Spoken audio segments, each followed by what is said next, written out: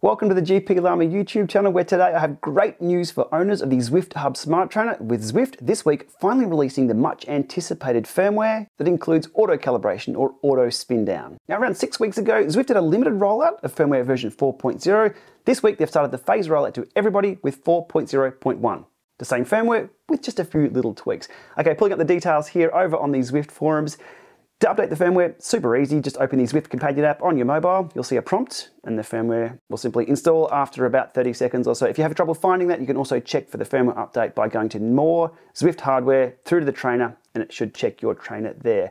Now what's included in version 4.0 and also 4.01 Auto calibration, which optimizes the accuracy of the power reading from your Zwift hub, and it happens automatically during rides. Now, this works similarly to a spin down calibration, and the scenario is, and the beauty of this is that it takes place on the trainer itself. So it's not dependent on Zwift. If you're riding Rouvy, RGT, Trainer Road, anything, and hit these checkboxes for this to take place, the trainer will do an auto calibration. And that is, after the first minute of riding, auto calibration will be triggered at any moment during your activity when you coast for at least five seconds from a speed of at least 15 k's per hour or 10 miles per hour. Now that speed is the virtual flywheel speed, not your speed in game on any virtual platform you're riding. So it's that flywheel speed that's ticking over.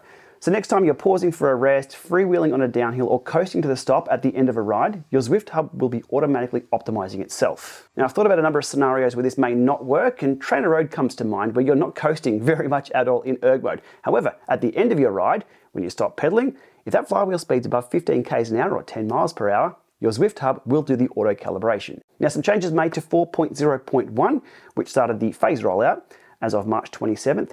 Uh, they fixed a heart rate pairing bug, so if you had a heart rate bridge to your Zwift Hub, that connection remains in place with this update, and calibration accuracy improvements, so a few minor tweaks over 4.0.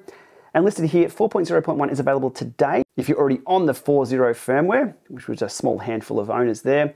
And 4.0.1 will roll out in phases if you're using 3.9 firmware. Given we're a few days into this phase rollout, I'll pull up the Zwift forums here and look at some user feedback of those who have upgraded. Uh, Michael here asked the great question early on, is it safe to install?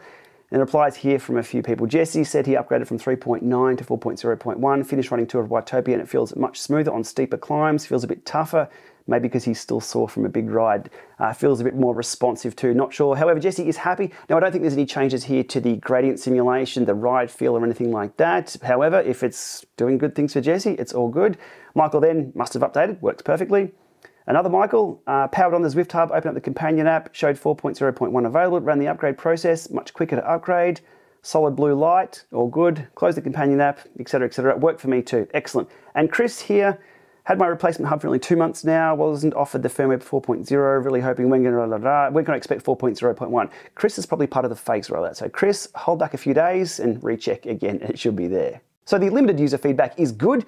Now onto my testing of this. Because as I say, trust but verify, and verify I did.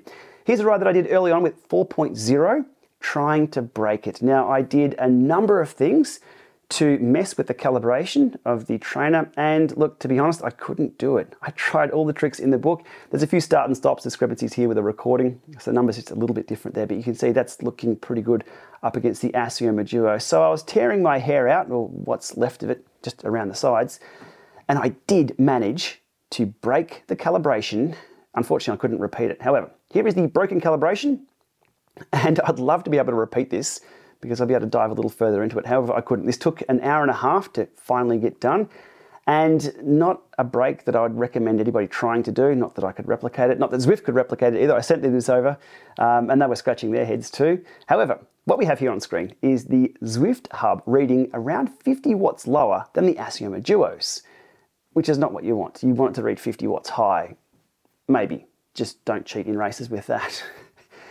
After noting that it was reading 50 watts low, I stopped and did a minimal five second coast and started spinning up again. And you can see here the numbers get a lot closer.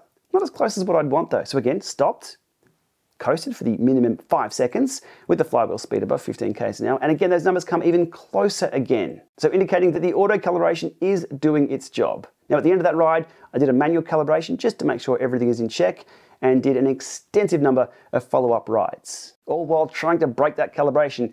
And I couldn't do it. So the final ride here with 4.0.1 on March 18th, just the other day, we have the Zwift Hub up against the Assioma Duos.